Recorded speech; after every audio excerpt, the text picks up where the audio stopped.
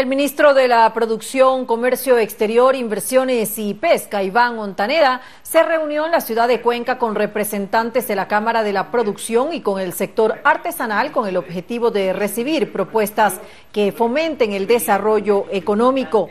El funcionario afirmó que el Estado ecuatoriano genera acompañamiento técnico para el desarrollo de estos sectores y sobre todo para crear más plazas de empleo. El sector artesanal de la SUAY solicitó al ministro Montaneda créditos de los que ya están disponibles en la banca pública en los actuales momentos.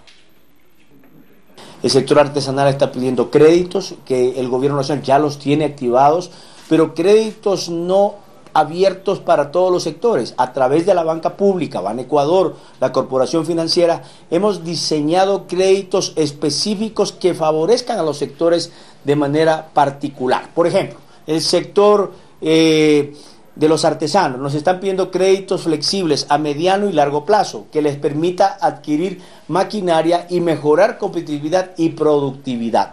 Para ese sentido tenemos dos herramientas. Créditos de un solo dígito a plazos importantes para el sector artesanal. Hemos reducido aranceles con un sacrificio importante del Estado que va a beneficiar al sector artesanal porque pueden comprar herramientas que necesitan eh, que les van a incorporar tecnología y van a ser más competitivos a más bajo precio. Entonces, compro herramientas, pero ¿con qué las compro? Con créditos productivos adecuados y eso va a impactar directamente a su competitividad.